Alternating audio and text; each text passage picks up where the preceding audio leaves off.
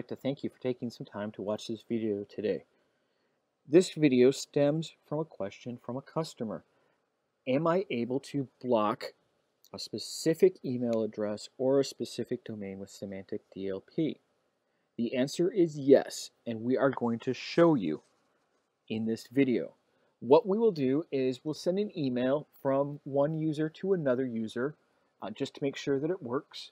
We'll create a policy that just generates incidents, so alerts us that this is communication is happening.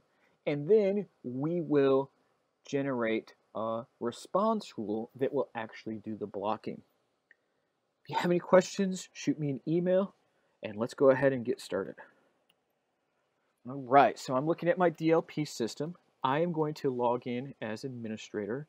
Um, any account that has privileges to author response rules will be all that we need. See, I forgot to type my password.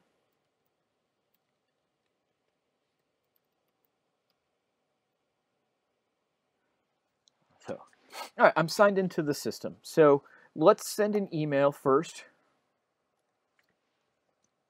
So it's going to come from my local user to my cloud user. So I have two domains, itslab.local and itslab.cloud.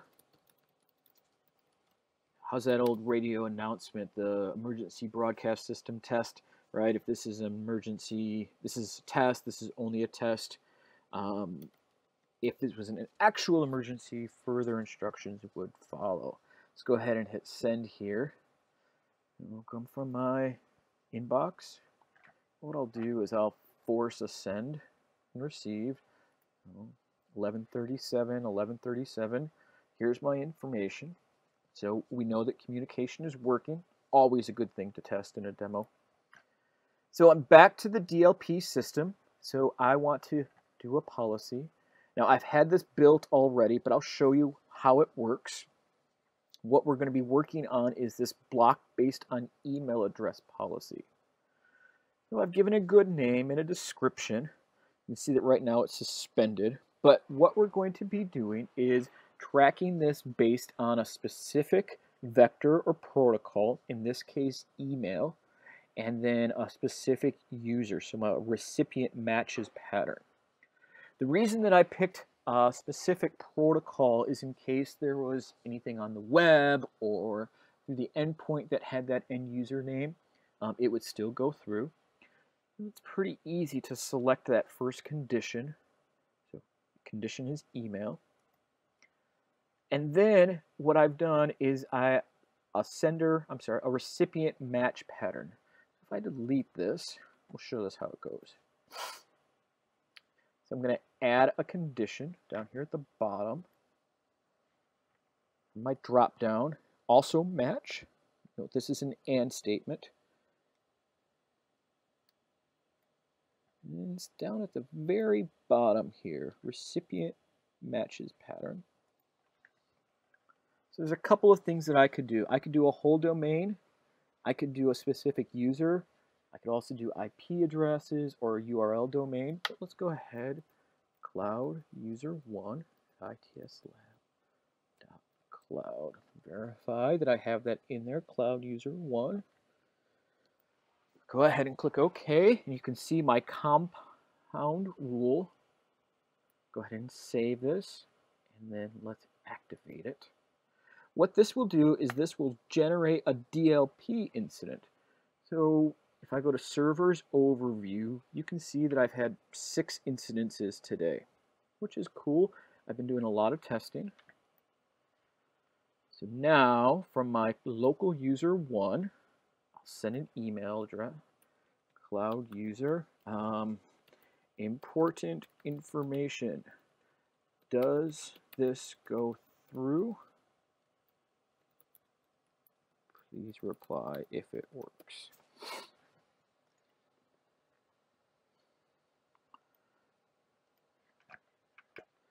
If my policy is right, we will now have a new incident in the DLP system. So if I refresh, see our number right now is 6. If I refresh, that number went up to 7. So now, incidences, network. See, I've been testing today a lot. So important information. So cloud user, the email message. I scroll down, right? Does this please go, does this go through? Please reply if it works. So now we are just generating an incident, an alert if something happens, right? So if somebody ever sends to cloud user one, we just want to be alerted, just notified. Well, let's take it to the next step. I want to now block. So go to manage, response rules. I have some response rules that are built in already. Let's take a look at this guy. This is the one that I've set up. So what I'm going to do is I'm going to block that outbound message and notify the sender. So I'm going to bounce the mail message, um, or I'm not, I'm going to redirect it. And then also in English, I'm going to provide, you know, my subject and then what actually happened. So anytime you see this dollar sign and then text, it came from one of these variables here. So let's just retype this message. So you can see how it works in email with the sub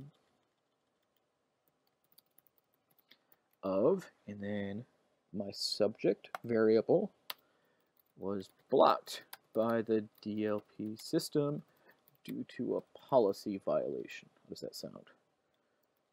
The policy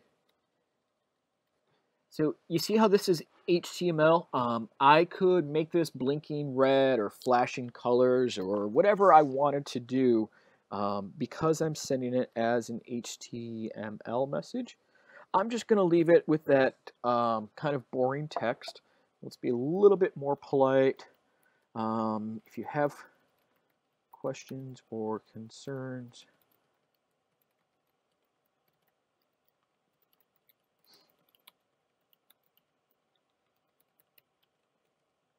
I call myself what? Director of IT security. How does that sound? Hey, I got a promotion. All right.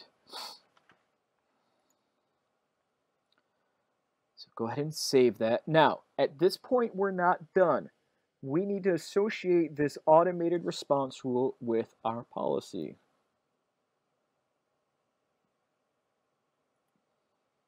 So go back to the policy, sorry, manage policy, click on it, and then there's this response rule tab.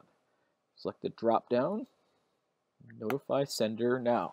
If this was production, the fact that there's got this random S here capitalized, that would bother me, but let's let that slip through today. So give it just a second to sync. That policy is now active and updated. And if everything works correctly, we should get a notification back. So cloud user, um, DLP blocking response rule test. This is a test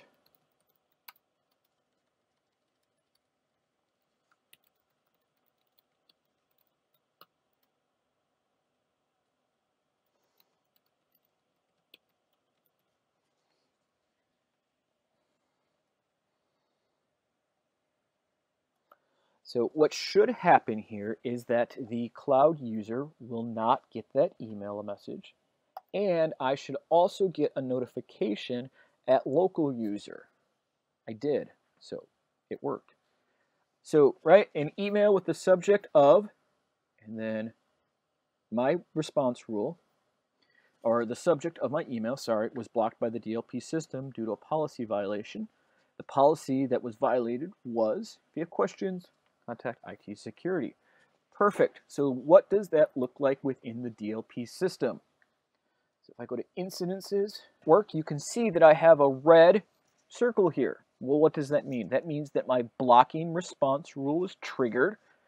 You can see that right in the network prevent action was blocked. Also, within the history, you can see exactly what happened within that mail message. So once again, we are able to block a specific um, email address or, or a domain with Symantec DLP. This video was a quick little overview of how to do this. If you have questions, feel free to send me an email. My email is listed on this PowerPoint slide. Thanks and have a great day.